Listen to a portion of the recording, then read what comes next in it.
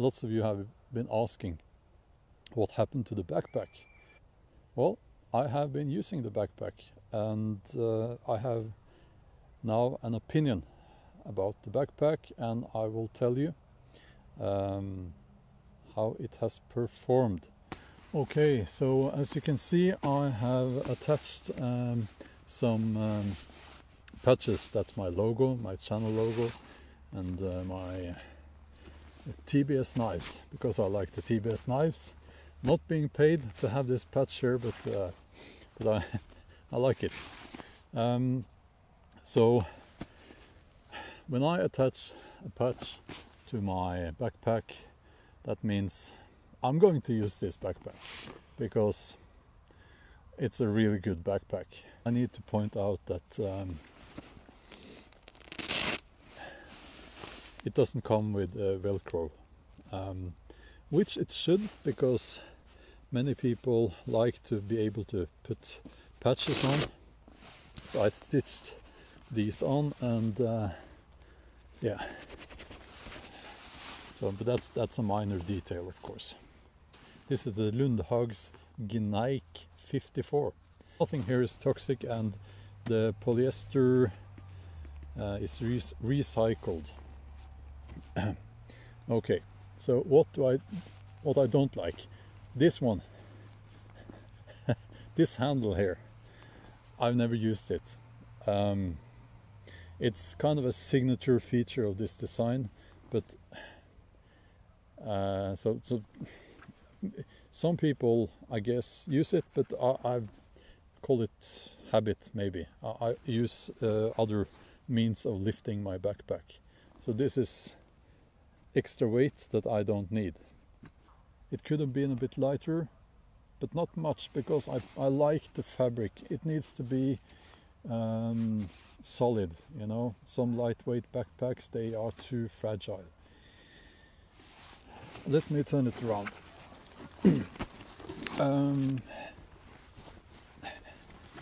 it has this mesh system uh, which I like a lot. But okay, the negatives first. Um, can you see this? It goes in like this, and it, it's not flush with the mesh.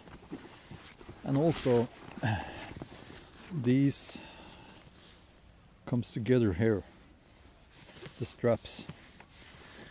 I would have preferred the straps to be flush with the mesh and without this little piece here because the human body is not designed like that. Um, I want I don't I don't need this part here.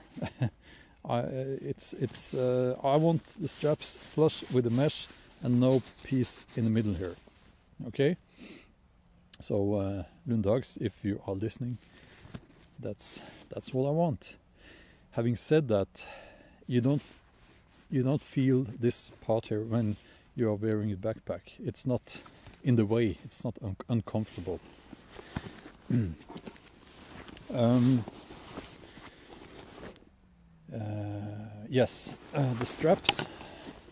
The straps are not thick. They are not thin, but they are not the sort of uh, um, thick. Uh, you know, all the backpacks they they uh, they have very thick padding here.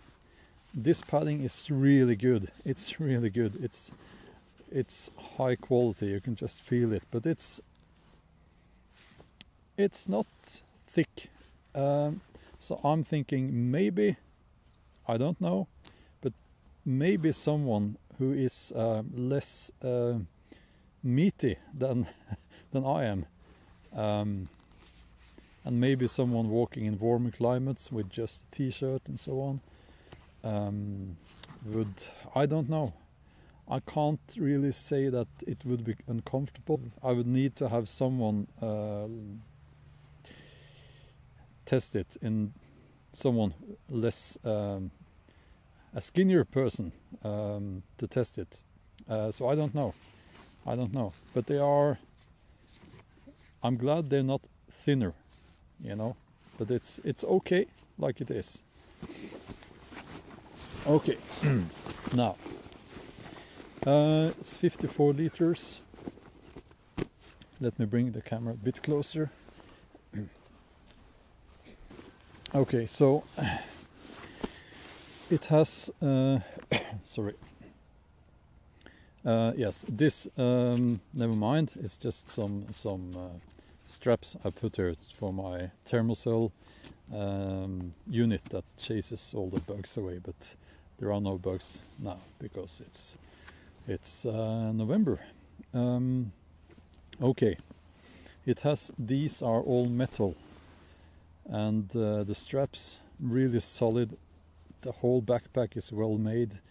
It's uh, yeah well uh, I've been carrying tools in this I've been uh, carrying uh, everything. Um, and it's uh, it's it's it's going to it's not going to let you down this backpack. And it's yeah I really like it. Now it has lots of straps lots of straps and you can tighten it in every possible way. Uh, and it can be expanded it has straps on the side. And it has these pockets on the side. Not so crazy about this elastic fabric here. Um, I think it will uh, I don't th I don't know how long this will last so that's maybe not the best. Uh, they could have done chosen another fabric maybe. Um, okay. And it has this extra pocket where you can put you know things you need. Uh, well that's my frying pan.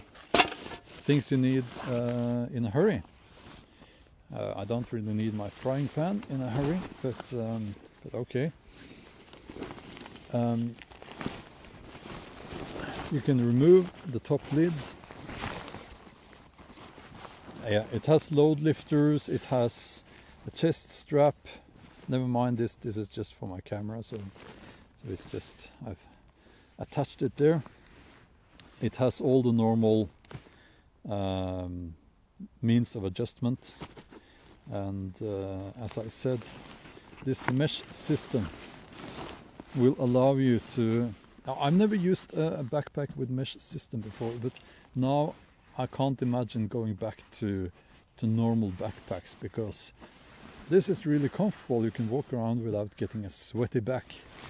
And uh, it has this angle here. You can put stuff in between here. Well, well I don't do that because then it wouldn't be airy anymore um, yes top lid is uh, can be used as a unit to carry stuff on its own. It has a pocket inside here. It has a pocket, oops, outside. There's a GPS uh, and stuff, and uh, yeah, okay. So 54 liters. That's uh, for me. Uh, that's I never need anything more than that because for one or two days in winter even I don't carry more than that. I have uh, just put a lot in here now. Uh, that was my Exped uh, sleeping pad, my compass, food, Jerven bag, a drone, and uh, my sleeping bag that I didn't compress because I just wanted to make a point out of that the fact that this sleep this backpack is roomy. It is bottle and my beloved knife. Okay. And it has, of course, pockets on the belt. I have uh, memory cards, extra batteries for my camera in here.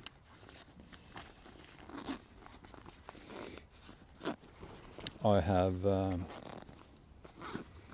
extra batteries for my uh, for my microphone in here.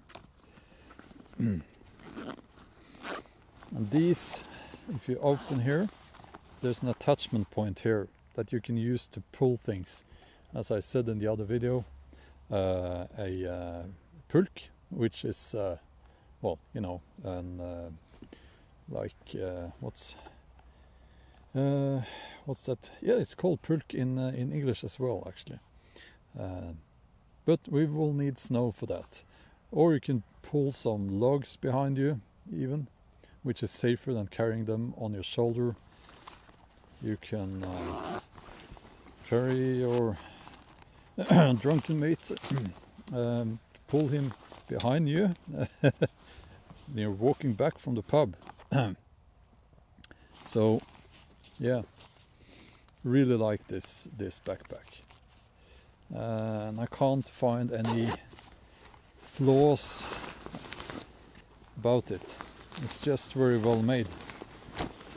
Um, yeah, this this is just something I put here. It's a ferro rod and uh, a means of cutting stuff here for an emergency situation.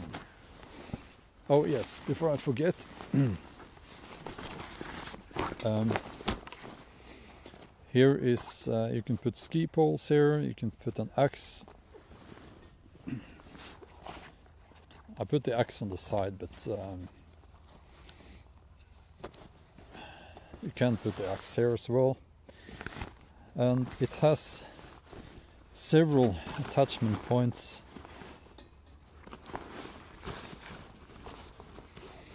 here. Okay, so so you can put straps and stuff across here. Okay, so that was my backpack and uh, now you asked me if I can recommend it and the answer is yes I can. It's a very good backpack. It's a bit pricey, I know, but it is high. It's just the best you can get. Um, in of this sort of backpack that you can use for bushcrafting and hiking. It's uh, the good thing about this, and the reason why I asked in my other video, is this the perfect bushcrafting backpack? Is that it's not as fragile as the other, well, most other backpacks uh, I've seen, and um, for hiking, hiking backpacks tend to be a bit fragile in my opinion and they come without the attachment points that this Gneik 54 has. Um, I would say I I wish it came in other colors as well. This is the shorter length. It comes in two back lengths. It's not adjustable, as you, you maybe noticed. Uh, the back length, the torso length, I mean, is not adjustable, so you have to choose between the shorter length and uh, the longer length. And um, I'm 180 centimeters, but um, now um, that doesn't really always uh, tell you uh, how long your backpack torso length should be, um, because it, it depends on other other things in your physiology, really. Um, and lots of people they actually walk around with uh, uh, backpacks that are too long for them in the torso. The torso length is, by the way, this. This is the torso torso length we're talking about. Okay. Um, so in this length it comes in in red and black, and in the longer length green. So I wish it came in all colors um, in this shorter length uh, because I would have preferred to have it in, in green. Um, but that's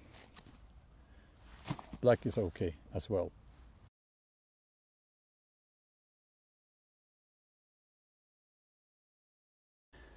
Um, the picture, the photo is uh, a burrow at Opstad during excavation in 1962.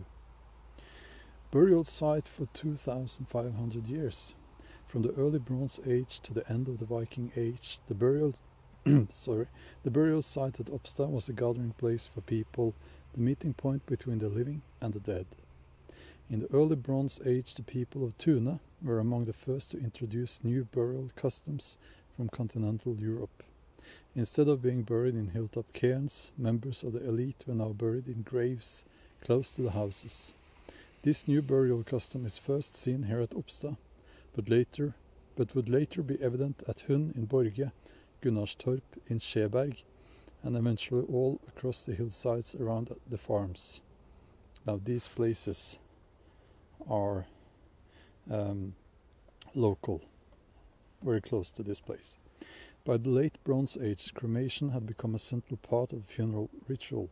In the Roman Iron Age, it was usual for prestigious weapons and ornaments to be placed in the grave of leaders, and by the Viking Age, women and men of the elite were buried in beautiful ships.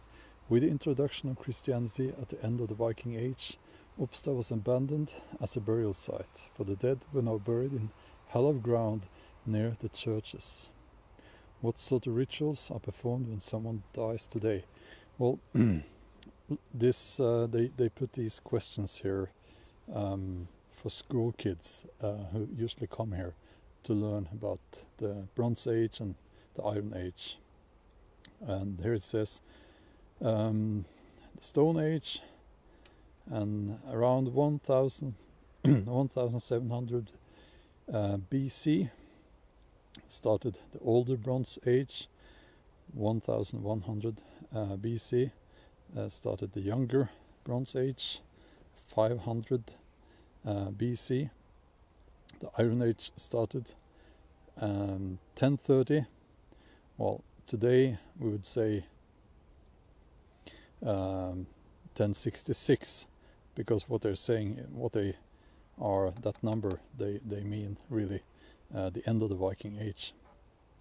And, uh, and it's normal now to say 1066. Now, some of you might not be aware of that um, you would probably have better chances of drinking out of a wine glass, a, a glass um, than a horn in the Viking. If, if you were among rich people in the Viking Age. Uh, this is a typical Roman wine set. It consisted of a bronze vessel, a sieve and pouring cup, in addition to wine glasses.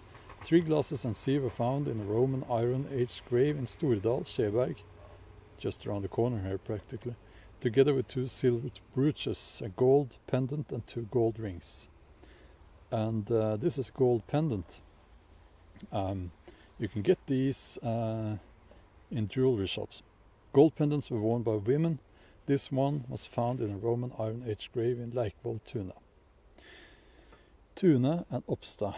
Now Tuna is, uh, I don't know if you've seen my video from the, the Viking festival near the Tuna lake. That's Tuna, that's that way. Opstad, that's here. Iron Age Center of Power. Gladden your feet. sorry. um, gladden your friend with gifts of arms and garments. Friendships bound by mutual gifts last longest, all being equal. That's stanza 41 of Håvamål. The leading families would have been well versed in the norms of Iron Age society and uh, in social practices for engaging with farmers and allies in the surrounding area. They would have been able to offer food in lean years. That's very important. Now, the a Viking chieftain was a chieftain on the mercy of his people. It's important that we understand that. So, if you could not provide for your people, farmers, normal people in lean years, you would probably not be chieftain for long. Now, protection from enemies also essential and knowledge of new trends, beliefs, and rituals. The keys to this power were economical resources, agriculture and cattle rearing on the Østfold Ridge, That's where we are now. Produced a surplus of goods that could be traded to finance foreign journeys. They came home from these with new customs and goods. A hall was built for feasting, a set of Roman wine glasses was used at the drinking ceremony, and with exclusive gifts bonds were tied and alliances forged. Craftsmen were engaged to create the finest weapons, clothes and ornaments. The rich graves of Roman era Tuna tell us that these were men and women who commanded respect. But anyway, that's all for now, and I have a school class behind me. I think.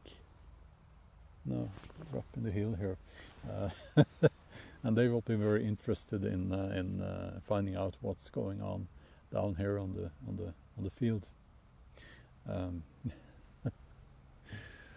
okay, if you enjoyed this video, give it a thumbs up, and if you're not already a subscriber, please consider subscribing. Share this video, and uh, I'll see you next time. Until then, take care and have a nice day.